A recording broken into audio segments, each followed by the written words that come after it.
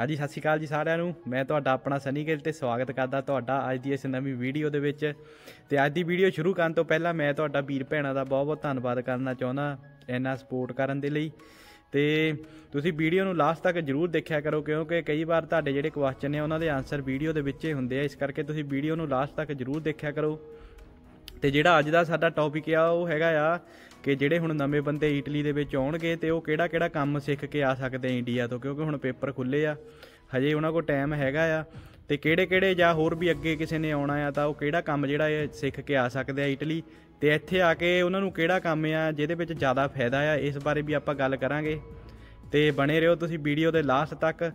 ਤੇ ਜੇਕਰ ਤੁਸੀਂ ਚੈਨਲ ਤੇ ਨਵੇਂ ਆਏ ਆ ਤਾਂ ਚੈਨਲ ਨੂੰ ਕਰ ਲਿਓ ਸਬਸਕ੍ਰਾਈਬ ਇਸ ਤਰ੍ਹਾਂ ਦੀਆਂ ਹੋਰ ਵੀਡੀਓ ਦੇ ਲਈ ਵੀਡੀਓ ਚੰਗੀ ਲੱਗੀ ਲਾਈਕ ਕਮੈਂਟ ਕਰਕੇ ਅੱਗੇ ਜਰੂਰ ਸ਼ੇਅਰ ਕਰਿਓ ਤਾਂ ਕਿ ਹੋਰ ਕਿਸੇ ਨੂੰ ਵੀ ਇਨਫੋਰਮੇਸ਼ਨ ਮਿਲ ਸਕੇ। ਤੇ ਜ਼ਿਆਦਾ ਸਮਾਂ ਨਾ ਖਰਾਬ ਕਰਦੇ ਹੋਏ ਆਪਾਂ ਕਰਦੇ ਹਾਂ ਅੱਜ ਦੀ ਵੀਡੀਓ ਸ਼ੁਰੂ।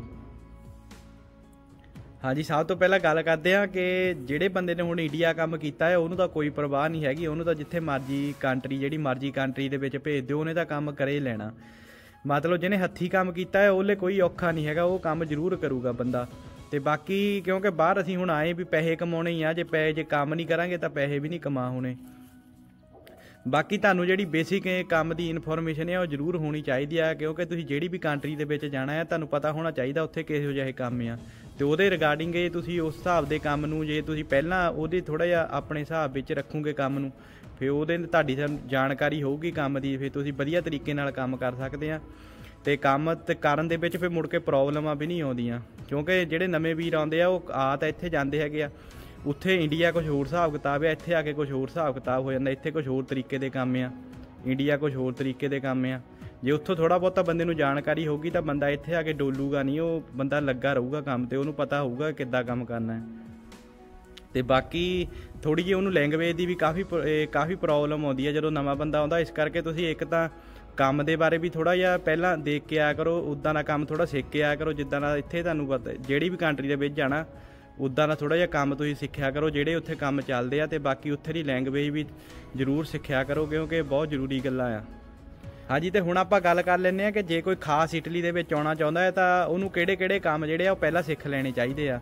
ਆਪਾਂ ਬਿਲਕੁਲ ਇੱਥੇ ਨਵੇਂ ਬੰਦੇ ਦੀ ਗੱਲ ਕਰਾਂਗੇ, ਜਿਹੜਾ ਨਵਾਂ ਬਿਲਕੁਲ ਆ ਰਿਹਾ ਆ ਜਾਂ ਹੁਣ ਇੱਕ ਮਹੀਨੇ ਤੱਕ ਆ ਰਿਹਾ ਜਾਂ ਕੋਈ ਵੀ ਜਿਹੜਾ ਨਵਾਂ ਬੰਦਾ ਇਟਲੀ ਤੋਂ ਆ ਰਿਹਾ, ਉਹ ਕਿਹੜੇ ਕੰਮ ਜਿਹੜਾ ਸਿੱਖ ਕੇ ਆ ਸਕਦਾ ਹੈ। ਇੱਥੇ ਜਿਹੜੇ ਤੁਸੀਂ ਕੰਮ ਕਰ ਸਕਦੇ ਹੋ ਹੈਗੇ ਆ ਪਲੰਬਰ ਦਾ ਕੰਮ ਕਰ ਸਕਦੇ ਆ, ਇਲੈਕਟ੍ਰੀਸ਼ੀਅਨ ਦਾ ਕਰ ਸਕਦੇ ਆ, ਰੈਸਟੋਰੈਂਟ ਵਿੱਚ ਕਰ ਸਕਦੇ ਆ, ਇਹ ਖਾਣਾ ਬਣਾਉਣ ਦੇ ਲਈ ਰੈਸਟੋਰੈਂਟ ਦੇ ਵਿੱਚ, ਤੇ ਕਾਰ ਵਾਸ਼ ਦਾ ਹੋ ਗਿਆ, ਤੇ ਹੋਰ ਤੇ ਇਹਦੇ ਨਾਲ ਨਾਲ ਇੱਥੇ ਜਿਹੜੇ ਆ ਖੇਤੀ ਦੇ ਕੰਮ ਵੀ ਮਿਲ ਜਾਂਦੇ ਆ, ਤੇ ਡੈਰੀ ਫਾਰਮ ਦਾ ਕੰਮ ਵੀ ਹੈਗਾ ਆ, ਤੇ ਘੋੜਿਆਂ ਦਾ ਫਾਰਮ ਆ, ਉਹਦੇ ਵਿੱਚ ਵੀ ਕੰਮ ਮਿਲ ਜਾਂਦਾ ਆ। ਪਰ ਇੱਕ ਗੱਲ ਹੋ ਰਿਹਾ ਜਦੋਂ ਵੀ ਤੁਸੀਂ ਇਟਲੀ ਤੋਂ ਆਉਨੇ ਆ, ਜਦੋਂ ਤੁਸੀਂ ਨਵੇਂ-ਨਵੇਂ ਆਉਨੇ ਆ ਇਟਲੀ ਨੂੰ, ਤਾਂ ਤੁਸੀਂ ਪਹਿਲੇ ਹੀ ਆਪਣੇ ਏਜੰਟ ਦੇ ਨਾਲ ਜਾਂ ਤੁਹਾਡਾ ਕੋਈ ਰਿਸ਼ਤੇਦਾਰ ਹੈ, ਉਹਦੇ ਨਾਲ ਕੰਮ ਦੀ ਵੀ ਗੱਲ ਜ਼ਰੂਰ ਕਰਕੇ ਆਇਆ ਕਰੋ, ਕਿਉਂਕਿ ਇੱਥੇ ਆ ਕੇ ਕੰਮ ਮੁੜ ਕੇ ਲੱਭਣਾ ਬਹੁਤ ਮੁਸ਼ਕਲ ਹੋ ਜਾਂਦਾ। ਇਸ ਕਰਕੇ ਤੁਸੀਂ ਉਦੋਂ ਹੀ ਕੰਮ ਦੀ ਗੱਲ ਪਹਿਲੇ ਕਰਕੇ ਆਇਆ ਕਰੋ, ਜਦੋਂ ਤੁਸੀਂ ਪੇਪਰ ਭਰਾਉਣੇ ਹੁੰਦੇ ਆ। ਹਾਂਜੀ, ਤੇ ਜੇ ਕੋਈ ਮੇਰਾ ਵੀਰ ਭਰਾ ਇਟਲੀ ਦੇ ਵਿੱਚ ਆ ਚੁੱਕਾ ਹੈ, ਤੇ ਉਹਨੂੰ ਕੰਮ ਲੱਭਣ ਦੇ ਵਿੱਚ ਪ੍ਰੋਬਲਮ ਆ ਰਹੀ ਆ, ਤਾਂ ਤੁਸੀਂ ਸਾਨੂੰ ਇੰਸਟਾਗ੍ਰam ਦੇ ਉੱਤੇ ਫੋਲੋ ਕਰ ਸਕਦੇ ਆ, ਮੈਂ ਲਿੰਕ ਡਿਸਕ੍ਰਿਪਸ਼ਨ ਦੇ ਵਿੱਚ ਪਾ ਦੂੰਗਾ। ਮੈਂ ਇਹ ਸ਼ੋਰ ਨਹੀਂ ਕਹਿਣਾ ਕਿ ਆਪਾਂ ਕੰਮ ਜ਼ਰੂਰ ਲੱਭ ਕੇ ਦਵਾਂਗੇ, ਪਰ ਇੱਕ ਗੱਲ ਆ, ਜਦੋਂ ਵੀ ਕੰਮ ਕਿਸੇ ਨੂੰ ਵੀ ਨਿਕਲੂਗਾ ਤਾਂ ਮੈਂ ਉਹਦੇ ਬਾਰੇ ਤੁਹਾਨੂੰ ਇਨਫੋਰਮੇਸ਼ਨ ਜ਼ਰੂਰ ਦਊਂਗਾ। ਤੁਸੀਂ ਮੈਸੇਜ ਕਰ ਸਕਦੇ ਆ ਤੇ ਜਦੋਂ ਵੀ ਕੋਈ ਕੰਮ ਨਿਕਲਦਾ ਮੈਂ ਤੁਹਾਨੂੰ ਜ਼ਰੂਰ ਇਨਫੋਰਮ ਕਰੂੰਗਾ।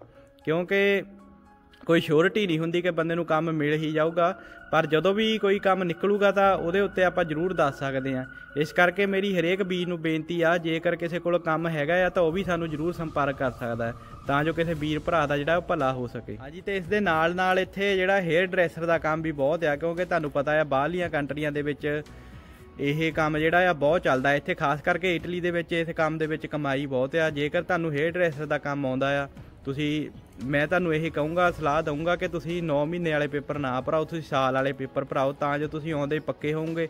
ਇੱਕ ਤੁਹਾਡੇ ਹੱਥ ਵਿੱਚ ਕਲਾ ਵੀ ਹੈਗੀ ਆ, ਇਹ ਕੰਮ ਦੇ ਇੱਥੇ ਪੈਸੇ ਬਹੁਤ ਆ। ਤੇ ਇਸ ਕਰਕੇ ਜੇ ਤੁਸੀਂ ਇਹ ਕੰਮ ਸਿੱਖ ਕੇ ਆਉਨੇ ਆ, ਤਾਂ ਤੁਹਾਡੇ ਲਈ ਹੋਰ ਵੀ ਬਹੁਤ ਵਧੀਆ ਬੈਨੀਫਿਟ ਆ। ਹਾਂਜੀ, ਤੇ ਜੇ ਗੱਲ ਕਰੀਏ ਆਪਾਂ ਰੈਸਟੋਰੈਂਟ ਦੇ ਕੰਮ ਦੀ, ਉੱਥੇ ਬੰਦੇ ਨੂੰ ਫੇ ਖਾਣਾ ਬਣਾਉਣਾ ਜਿਹੜਾ ਉਹ ਚੰਗੀ ਤਰ੍ਹਾਂ ਆਉਣਾ ਚਾਹੀਦਾ, ਕਿਉਂਕਿ ਕੰਮ ਤਾਂ ਆਪਾਂ ਨੂੰ ਮਿਲ ਜਾਊਗਾ, ਪਰ ਜੇ ਕੰਮ ਆਉਂਦਾ ਹੋਊਗਾ, ਤਾਂ ਹੀ ਗੱਲ ਆ। ਕਿਉਂਕਿ ਕਈ ਬੰਦੇ ਇਸੇ ਕਰਕੇ ਰਹਿ ਜਾਂਦੇ ਆ, ਕੰਮ ਤਾਂ ਉਹਨਾਂ ਨੂੰ ਮਿਲ ਜਾਂਦਾ ਪਰ ਉਹ ਰਹਿ ਇਸ ਕਰਕੇ ਜਾਂਦੇ ਆ ਕਿ ਉਹਨਾਂ ਨੂੰ ਕੰਮ ਕਰਨਾ ਨਹੀਂ ਆਉਂਦਾ ਹੁੰਦਾ। ਕੰਮ ਮਿਲ ਜਾਂਦਾ ਪਰ ਕੰਮ ਕਰਨਾ ਨਹੀਂ ਆਉਂਦਾ ਹੁੰਦਾ ਕਿਉਂਕਿ ਇੱਥੇ ਤੁਹਾਨੂੰ ਪਤਾ ਨਹੀਂ ਹੈਗਾ ਕਿ ਕਿਹੜਾ ਕੰਮ ਮਿਲਣਾ ਆ, ਕਿਹੜਾ ਨਹੀਂ। ਇਸ ਹਾਂਜੀ ਤੇ ਇਸ ਦੇ ਨਾਲ ਨਾਲ ਜੇ ਤੁਹਾਨੂੰ ਪਲੰਬਰ ਦਾ ਕੰਮ ਆਉਂਦਾ ਆ, ਇਲੈਕਟ੍ਰੀਸ਼ੀਅਨ ਦਾ ਕੰਮ ਆਉਂਦਾ ਜਾਂ ਤੁਹਾਨੂੰ ਕਾਰ ਵਾਸ਼ ਦਾ ਕੰਮ ਆਉਂਦਾ ਆ ਕਈ ਵਾਰੀ ਇਦਾਂ ਹੁੰਦਾ ਕਿ ਬੰਦੇ ਨੂੰ ਚਲੋ ਮੰਨਦੇ ਆ ਕਿ ਰੈਸਟੋਰੈਂਟ ਦਾ ਕੰਮ ਨਹੀਂ ਆਉਂਦਾ, ਕਈ ਬੰਦੇ ਨੂੰ ਪਲੰਬਰ ਦਾ ਕੰਮ ਆਉਂਦਾ ਹੁੰਦਾ ਆ ਇਲੈਕਟ੍ਰੀਸ਼ੀਅਨ ਦਾ ਕੰਮ ਆਉਂਦਾ ਹੁੰਦਾ ਆ। ਇਸ ਕਰਕੇ ਜੇ ਤੁਸੀਂ ਉਹ ਵੀ ਕੰਮ ਕਰਦੇ ਆ ਉਹਨਾਂ ਵਿੱਚ ਵੀ ਕਾਫੀ ਫਾਇਦਾ ਬੰਦੇ ਦੇ ਹੱਥ ਦੇ ਵਿੱਚ ਹੁਨਰ ਚਾਹੀਦਾ, ਕੋਈ ਵੀ ਹੋਵੇ। ਕੰਮ ਬੰਦੇ ਨੂੰ ਇੱਥੇ ਆ ਕੇ ਮਿਲੇ ਜਾਂਦਾ ਹੌਲੀ ਹੌਲੀ ਕਰਕੇ ਚਲੋ ਮਿਲ ਜਾਂਦਾ ਆ। ਪਰ ਇਦਾਂ ਆ ਥੋੜਾ ਟਾਈਮ ਜ਼ਰੂਰ ਲੱਗਦਾ ਜਦੋਂ ਤੁਸੀਂ ਪੱਕੇ ਹੁੰਦੇ ਆ, ਫੇਰ ਤੁਹਾਡਾ ਹੋਰ ਵੀ ਜ਼ਿਆਦਾ ਬੈਨੀਫਿਟ ਹੁੰਦਾ, ਕਿਉਂਕਿ ਤੁਸੀਂ ਫੇਰ ਆਪਣਾ ਕੰਮ ਵੀ ਇਸ ਤਰੀਕੇ ਨਾਲ ਖੋਲ ਸਕਦੇ ਆ। ਹਾਂਜੀ, ਤੇ ਜੇ ਗੱਲ ਕਰੀਏ ਕਿ ਡੈਰੀ ਫਾਰਮਾਂ ਦੇ ਕੰਮ ਦੇ ਵਿੱਚ ਉੱਥੋਂ ਵੀ ਕਈ ਬੰਦੇ ਰਹਿ ਜਾਂਦੇ ਆ, ਆਪਣੇ ਜਿਹੜੇ ਨਵੇਂ ਵੀਰ ਭਰਾ ਆਉਂਦੇ ਆ, ਉਹਨਾਂ ਤੋਂ ਵੀ ਉੱਥੇ ਵੀ ਨਹੀਂ ਕੰਮ ਕਰ ਸਕਦੇ ਕਿਉਂਕਿ ਉਹਨਾਂ ਨੂੰ ਟਰੈਕਟਰ ਨਹੀਂ ਚਲਾਉਣਾ ਆਉਂਦਾ ਹੁੰਦਾ। ਜਿਹੜੇ ਡੈਰੀ ਫਾਰਮਾਂ ਦੇ ਕੰਮ ਆ, ਉਹਨਾਂ ਦੇ ਵਿੱਚ ਤੁਹਾਨੂੰ ਟਰੈਕਟਰ ਚਲਾਉਣਾ ਆਉਣਾ ਚਾਹੀਦਾ, ਜਿੰਨੇ ਵੀ ਆਪਣੇ ਇੰਡੀਆ ਦੇ ਵਿੱਚ ਖੇਤੀਬਾੜੀ ਦੇ ਕੰਮ ਨਾਲ ਸੰਬੰਧ ਜਿਹੜੇ ਕੰਮ ਆ, ਉਹ ਤੁਸੀਂ ਉੱਥੇ ਸਿੱਖ ਕੇ ਆਓ ਇੰਡੀਆ, ਕਿਉਂਕਿ ਜੇ ਤੁਸੀਂ ਉੱਥੇ ਸਿੱਖਦੇ ਆ, ਤੇ ਤੁਹਾਨੂੰ ਇੱਥੇ ਆ ਕੇ ਕੰਮ ਕਰਨ ਦੇ ਵਿੱਚ ਕੋਈ ਪ੍ਰੋਬਲਮ ਨਹੀਂ ਆਉਣੀ ਹੈਗੀ। ਤੇ ਜੇ ਜੇ ਇੱਥੇ ਆ ਕੇ ਕੰਮ ਕਰੋਗੇ ਤਾਂ ਹੀ ਫਾਇਦਾ ਹੈ ਇੱਥੇ ਵਿਹਲੇ ਰਹਿ ਕੇ ਗੁਜ਼ਾਰਾ ਵੀ ਹੈ ਨਹੀਂਗਾ ਉਦਾਂ ਬੰਦੇ ਦਾ। ਜੇ ਤੁਸੀਂ ਵਿਹਲਾ ਰਹਿੰਦੇ ਆ, ਉਹਨਾਂ ਤੁਹਾਨੂੰ ਕਿਰਾਇਆ ਘਰ ਦਾ ਵੀ ਪੈਣਾ ਆ, ਹੋਰ ਵੀ ਤੁਹਾਡਾ ਖਾਣ ਪੀਣ ਦਾ ਜਿਹੜਾ ਆ, ਉਹ ਤੁਹਾਡਾ, ਤੁਹਾਡੇ ਲਈ ਸਾਂਭਣਾ ਵੀ ਜਿਹੜਾ ਕਾਫੀ ਮੁਸ਼ਕਲ ਹੋਣਾ। ਜੇ ਤੁਹਾਨੂੰ ਕੰਮ ਆਊਗਾ, ਉਨੀ ਛੇਤੀ ਤੁਹਾਨੂੰ ਕੰਮ ਵੀ ਮਿਲ ਜਾਊਗਾ। ਤੇ ਉਹਨਾਂ ਤੁਸੀਂ ਆਪਣਾ ਜਿਹੜੇ ਪੈਸੇ ਵੀ ਕਾਫੀ ਛੇਤੀ ਪੂਰੇ ਕਰ ਸਕਦੇ ਆ, ਜਿਹੜੇ ਤੁਸੀਂ ਇੰਡੀਆ ਤੋਂ ਲਾ ਕੇ ਆਉਨੇ ਆ। ਹਾਂਜੀ, ਤੇ ਹੁਣ ਗੱਲ ਕਰ ਲੈਨੇ ਆਪਾਂ ਕਿ ਕਿਹੜੇ ਕੰਮ ਦੇ ਵਿੱਚ ਕਿੰਨਾ ਫਾਇਦਾ ਆ। ਇਹ ਮੈਂ ਹੁਣ ਤੁਹਾਨੂੰ ਐਕਸਪਲੇਨ ਕਰ ਦਿੰਨਾ ਤੇ ਤੁਸੀਂ ਤੁਹਾਨੂੰ ਵੀਡੀਓ ਦੇ ਐਂਡ ਦੇ ਵਿੱਚ ਆਪੇ ਪਤਾ ਲੱਗ ਜਾਣਾ ਕਿਹੜੇ ਕੰਮ ਦੇ ਵਿੱਚ ਕਿੰਨਾ ਫਾਇਦਾ ਆ।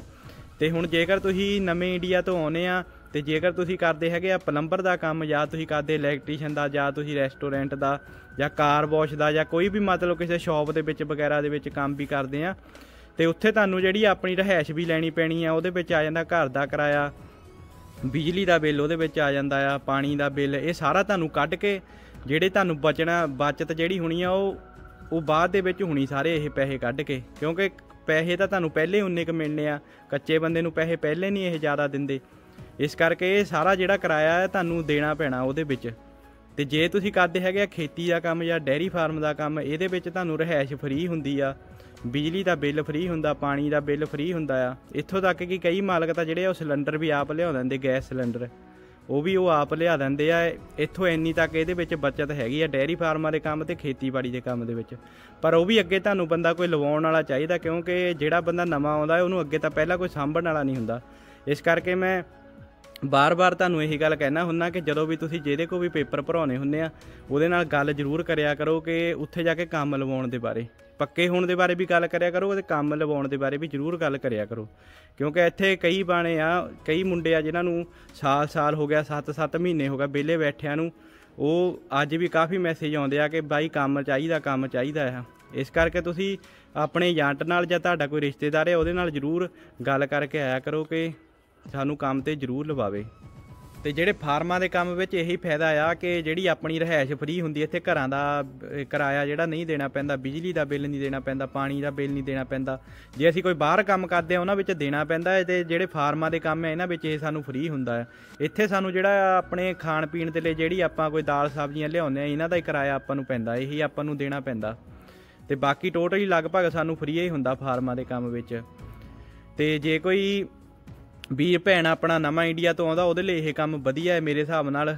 ਤੇ ਬਾਕੀ ਜੇਕਰ ਤੁਹਾਡੇ ਕੋਲ ਹੱਥ ਦੇ ਵਿੱਚ ਕੋਈ ਇਦਾਂ ਦੀ ਕਲਾ ਹੈ, ਜਿਹੜਾ ਕੋਈ ਹੇਅਰ ਡਰੈਸਰ ਦਾ ਹੋ ਗਿਆ, ਕੋਈ ਜਾਨੀ ਕਿ ਕੋਈ ਰੈਸਟੋਰੈਂਟ ਦੇ ਵਿੱਚ, ਉਹ ਫੇਰ ਤੁਹਾਡਾ ਬਾਹਰ ਦਾ ਆ, ਕਿਉਂਕਿ ਇੱਕ ਤਾਂ ਪਹਿਲਾਂ ਉਹ ਕੰਮ ਵੀ ਇੰਨੇ ਸੌਖੇ ਨਹੀਂ ਹੈਗੇ ਮਿਲਣੇ। ਤੇ ਜੇਕਰ ਮਿਲ ਜਾਣ ਫੇ ਉਹਨਾਂ ਦੇ ਵਿੱਚ ਆਹ ਤੁਹਾਨੂੰ ਪਤਾ ਹੈ ਕਿੰਨਾ ਐਕਸਪੈਂਸ ਬੰਦੇ ਨੂੰ ਪੈਂਦਾ ਹੈ, ਕਿੰਨਾ ਕੁਝ ਉਹਦੇ ਵਿੱਚ ਘਰ ਦਾ ਕਿਰਾਇਆ, ਸਾਰਾ ਕੁਝ ਇਹ ਕਰਨਾ ਪੈਂਦਾ ਹੈ। ਤੇ ਇਸ ਕਰਕੇ ਤੁਸੀਂ ਜੇ ਨਵੇਂ ਆਉਂਦੇ ਆ ਤਾਂ ਤੁਹਾਨੂੰ ਫਾਰਮ ਦਾ ਕੰਮ ਜਿਹੜਾ ਉਹ ਬੈਸਟ ਆ। ਹਾਂਜੀ ਤੇ ਪਰ ਜੇ ਤੁਸੀਂ ਫਾਰਮ ਦਾ ਕੰਮ ਕਰਨਾ ਹੈ ਤਾਂ ਇੱਕ ਗੱਲ ਆ ਕਿ ਤੁਹਾਨੂੰ ਉਹ ਕੰਮ ਆਉਣਾ ਜ਼ਰੂਰ ਚਾਹੀਦਾ ਆ। ਕਿਉਂਕਿ ਕਈ ਬੰਦੇ ਇਹ ਇਹ ਗੱਲ ਤੋਂ ਕੰਮ ਤੇ ਰਹਿ ਜਾਂਦੇ ਆ ਕੰਮ ਜਾਣ ਤੋਂ ਕਿ ਉਹਨਾਂ ਨੂੰ ਕੰਮ ਹੀ ਨਹੀਂ ਆਉਂਦਾ ਹੁੰਦਾ। ਜਾਂ ਉਹਨਾਂ ਨੂੰ ਕੰਮ ਆਉਂਦਾ ਨਹੀਂ ਹੁੰਦਾ ਜਾਂ ਫਿਰ ਉਹਨਾਂ ਨੂੰ ਕੰਮ ਜਿਹੜਾ ਉਹ ਔਖਾ ਲੱਗਦਾ ਆ। ਇਸ ਕਰਕੇ ਜੇ ਤੁਸੀਂ ਇੰਡੀਆ ਕੰਮ ਕੀਤਾ ਹੈ, ਫਿਰ ਤਾਂ ਤੁਹਾਨੂੰ ਨਹੀਂ ਔਖਾ ਲੱਗੂਗਾ ਕਿਉਂਕਿ ਬਿਲਕੁਲ ਫਾਰਮਾਂ ਦੇ ਕੰਮ ਆਪਣੇ ਇੰਡੀਆ ਵਾਂਗੂ ਸੇਵੇਂ ਹੀ ਹੁੰਦੇ ਆ। ਜਿੱਦਾਂ ਆਪਾਂ ਇੰਡੀਆ ਖੇਤੀਬਾੜੀ ਕਰਦੇ ਆਂ ਲਾਈਕ ਉਦਾਂ ਹੀ ਫਾਰਮਾਂ ਦੇ ਕੰਮ ਇੱਥੇ ਆ। ਦੁਪਹਿਰ ਸਵੇਰ ਨੂੰ ਤੁਸੀਂ ਕੰਮ ਤੇ ਜਾਓ ਤੇ ਮੁੜ ਕੇ ਦੁਪਹਿਰ ਨੂੰ ਤੁਹਾਨੂੰ ਛੁੱਟੀ ਹੋ ਜਾਂਦੀ ਆ ਤੇ ਸ਼ਾਮ ਨੂੰ ਤੁਸੀਂ ਫੇਰ ਕੰਮ ਤੇ ਜਾਂਦੇ। ਮਤਲਬ ਕਿ ਜਿੱਦਾਂ ਆਪਾਂ ਇੰਡੀਆ ਕੰਮ ਕਰਦੇ ਆ, ਉਹੀ ਹਿਸਾਬ ਕਿਤਾਬ ਆ। ਜਿਹਨੇ ਤਾਂ ਇੰਡੀਆ ਕੀਤਾ, ਉਹਨੂੰ ਤਾਂ ਕੋਈ ਪ੍ਰੋਬਲਮ ਨਹੀਂ। ਬਾਕੀ ਜਿਹਨੇ ਨਹੀਂ ਕੀਤਾ, ਉਹਨੂੰ ਬਿਲਕੁਲ ਜ਼ਰੂਰ ਪ੍ਰੋਬਲਮ ਆਉਂਦੀ ਆ। ਬਾਕੀ ਜੇ ਆਪਾਂ ਗੱਲ ਕਰੀਏ ਕਿ ਕਿੰਨੇ ਪੈਸੇ ਬਣ ਜਾਂਦੇ ਫਾਰਮਾਂ ਦੇ ਵਿੱਚ, ਘੱਟ ਤੋਂ ਘੱਟ 900 ਯੂਰੋ ਦਾ ਇੱਥੇ ਬੰਦੇ ਨੂੰ ਆਮ ਮਿਲ ਜਾਂਦਾ ਆ, ਫਾਰਮਾਂ ਦੇ ਕੰਮ ਵਿੱਚ। ਭਾਵੇਂ ਕੰਮ ਥੋੜਾ ਵੀ ਹੋਵੇ 900 ਯੂਰੋ ਤਾਂ ਹੈਗਾ ਹੈ ਨਾਰਮਲ ਬਾਕੀ ਜੇ ਤੁਸੀਂ 150 ਆਪਣਾ ਖਾ ਵੀ ਲਓਗੇ ਤਾਂ ਤਾਂ ਤੁਹਾਡੇ ਕੋਲ ਫੇਰ ਵੀ 750 ਬਚ ਜਾਂਦਾ। ਜਿਹੜਾ ਕਿ ਤੁਸੀਂ ਇੰਡੀਆ ਨੂੰ ਪਾ ਸਕਦੇ ਜਾਂ ਕੋਈ ਵੀ ਚੱਕਰ ਆ, ਜੇ ਤੁਸੀਂ ਪੈਸੇ ਵੀ, ਕਿਉਂਕਿ ਬੰਦੇ ਨੇ ਪੂਰੇ ਕਰਨੇ ਹੁੰਦੇ ਆ। ਇਸ ਕਰਕੇ ਫਾਰਮਾਂ ਦਾ ਕੰਮ ਬੈਸਟ ਆ ਤੇ ਬਾਕੀ ਜੇਕਰ ਤੁਹਾਨੂੰ ਵੀਡੀਓ ਵਧੀਆ ਲੱਗੀ ਤਾਂ ਤੁਸੀਂ ਲਾਈਕ ਕਮੈਂਟ ਕਰਕੇ ਜਰੂਰ ਦੱਸਿਓ। ਇਸ ਤਰ੍ਹਾਂ ਦੀਆਂ ਹੋਰ ਵੀਡੀਓ ਲਈ ਚੈਨਲ ਨੂੰ ਕਰ ਲਿਓ ਸਬਸਕ੍ਰਾਈਬ ਤੇ ਜੇਕਰ ਵੀਡੀਓ ਵਧੀਆ ਲੱਗੀ ਤਾਂ ਲਾਈਕ ਕਮੈਂਟ ਕਰਕੇ ਆਪਣਾ ਕੋਈ ਹੋਰ ਤੁਹਾਡਾ ਸਵਾਲ ਆ ਤਾਂ ਤੁਸੀਂ ਜਰੂਰ ਕਮੈਂਟ ਕਰ ਸਕਦੇ ਆ। ਤੇ ਬਾਕੀ ਮਿਲਦੇ ਆ ਆਪਾਂ ਕਿਸੇ ਨੈਕਸਟ ਵੀਡੀਓ ਦੇ ਵਿੱਚ।